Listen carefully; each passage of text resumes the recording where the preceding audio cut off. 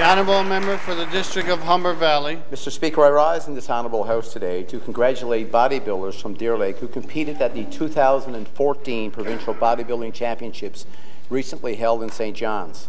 This competition saw Dawn Park of Deer Lake win her first provincial championship in the figure short category.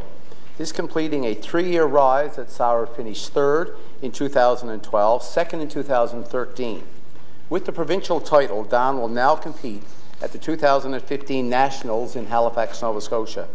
Along with Dawn, Shania Caravan, who won first place in the bikini short category in her first provincial title. Brianne Byrne finished seventh in the figure short competition, and Charles Crocker capped a successful weekend, finishing second in the men's heavyweight category.